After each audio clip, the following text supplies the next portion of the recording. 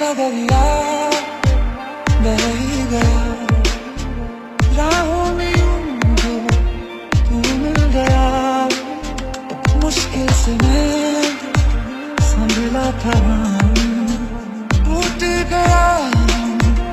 फिर एक दफा